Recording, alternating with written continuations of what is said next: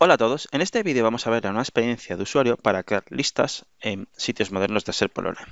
Aquí estoy en un sitio moderno, en concreto un sitio de comunicación y como sabéis, si el usuario tiene los permisos adecuados puede crear una lista directamente desde la página principal del sitio. Si hacemos clic en crear nueva lista, podéis ver que se muestra lo que es la opción que conocemos hasta ahora de crear listas en sitios modernos de SERP Online, es decir, vía panel lateral. Entonces, ¿dónde está lo que es la nueva experiencia de usuario, que es lo que quiero comentar en este vídeo. Obviamente no está disponible desde este botón nuevo por el momento, a mí me resulta un poco extraño, pero está disponible desde la página de contenidos del sitio.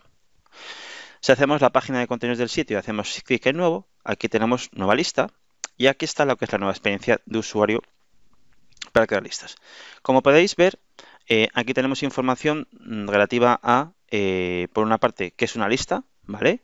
Y luego, pues, eh, opciones de cómo podemos organizar una lista, cómo podemos compartir, eh, cómo podemos añadir columnas, etcétera, una lista, ¿vale? Esto lo tenéis todo aquí disponible. Entonces, esto es información adicional de cara a facilitar lo que es la creación de una lista.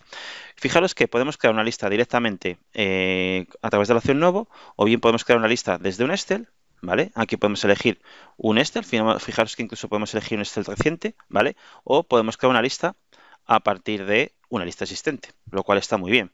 Fijaros que además es súper interesante porque nos deja elegir una lista existente de cualquiera de los sitios a los que tenemos acceso. La verdad es que es una característica bastante potente. ¿vale? Lo que voy a hacer es, vamos a intentar crear eh, una lista a partir de mm, es una estela que ya tengo acceso. ¿vale? Entonces, por ejemplo, mm, vamos a ver si con la de informe de ventas, que me suena que era un Excel bastante interesante, podemos crear una lista potente, ¿vale? Entonces, fijaros que en el caso de que creemos una lista desde Excel, eh, bueno, seleccionamos el Excel en concreto, le damos a Nest. Bueno, una cosa importante es que el Excel tiene que estar cargado, obviamente, en algún sitio de SharePoint. Aparentemente no nos deja cargar un Excel desde de un Excel nuevo, adicional. Y, eh, bueno, le damos clic a siguiente, ¿vale? Y esto lo que nos va a hacer es que va a hacer una previsualización de eh, la lista que se va a crear en base a el contenido de, el contenido del, del Excel, ¿vale? Fijaros que en este caso ha detectado que en el Excel pues hay una tabla, podríamos tener más, ¿vale? Y bueno, ha visto que esta tabla pues tiene todas estas columnas, ¿vale? Y lo que me permite es eh, empezar a elegir pues dentro de esta lista si quiero eh, quitar añadir columnas. Fijaros que hace un poco un mapeo, es decir, interpreta que la columna apellido tiene que ser title, por supuesto, esto lo podría cambiar, es decir, podría decir qué título sea esta, es decir, eh, la columna por defecto en una lista, y eh, luego puedo cambiar los valores que tengo aquí, ¿vale? Bueno, fijaros que tiene sentido que esta sea título, que esta sea de tipo línea de texto, esto también eh, es línea de texto, ¿vale? Fijaros que aquí, por ejemplo, esta podríamos elegir que fuese de tipo elección, ¿De acuerdo? ¿Por qué? Porque son valores que tengo por ahí disponibles. Eh, esto dice que es number, podríamos decir que es de tipo moneda, por ejemplo. Podemos hacer un mapeo, ¿vale? Aquí también eh, podemos especificar de qué tipo es. Fijaros que esto es un número, pero a mí me interesa que sea, pues, bueno, vamos a dejarlo tipo numérico, aunque estaría bien que fuese un porcentaje, ¿vale? Y luego aquí esto, mm, en principio, tiene sentido que sea una lista de valores.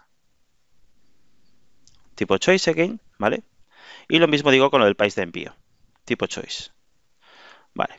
Bueno, fijaros que una cosa que no me deja hacer, por ejemplo, es que no me deja eh, cambiar lo que son los nombres de las, de las columnas, ¿no? Por algún motivo. Vale, y bueno, se supone que esto, de alguna forma, eh, cuando yo he acabado de modificar todo, pues me debería dejar crear la lista. Parece que hay algo que no le gusta, ¿vale? Vamos a volver a revertir un poco la situación. A ver si encontramos cuál es el problema. Vale, vamos a coger que sea de tipo una sola línea de texto, una sola línea de texto, vale, y eh, por algún extraño motivo pues no me lo está eh, dejando elegir bien.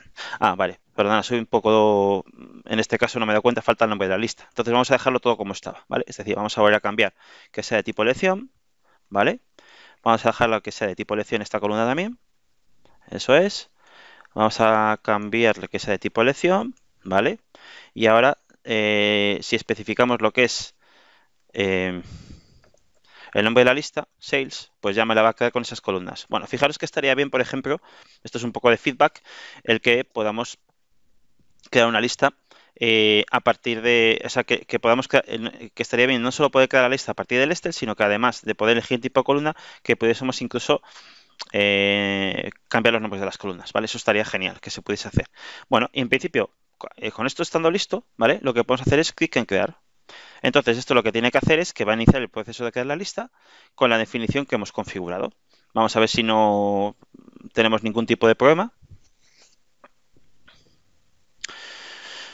Vale, eh, la lista está creada y bueno, como podéis ver, voilà, espectacular. Tenemos la lista con los valores y eh, con los campos que configuramos. Vamos a, comprobar que efectivamente si seleccionamos un registro y vemos lo que es eh, el, detalle del elemento, ¿vale? Las propiedades que tiene, mm, lo que quiero comprobar es que tengo campos de tipo elección. Efectivamente, aquí lo tenéis. Son campos de tipo elección, ¿no? Tengo un montón, de hecho, bastante curioso. Estos valores los está cogiendo, pues me imagino que en la lista que estábamos mostrando había muchos más valores, eso es, y había varios aquí. Y luego el importe de compra, pues lo ha cogido en la moneda, los impuestos es un número, y fijaros que este también es de tipo elección, ¿vale? Y fijaros que este también es de tipo elección. Super cool. ¿Vale? Y bueno, pues hasta aquí llega este vídeo demostrativo en el que os quería enseñar la nueva experiencia de usuario para crear listas modernas en sitios de SharePoint Online. Súper, súper interesante y espero que el vídeo sea resultado interesante y nada, pues nos vemos en el próximo. Un saludo.